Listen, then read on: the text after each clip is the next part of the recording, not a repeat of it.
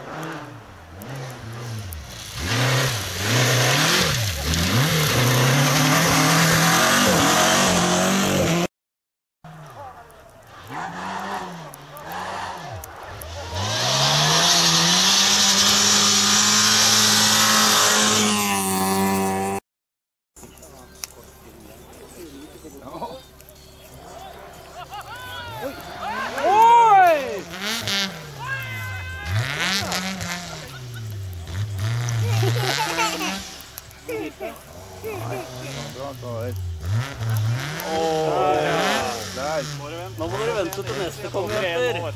Skal de ikke hjelpe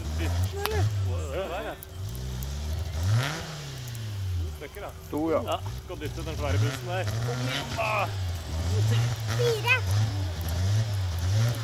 Fem, seks,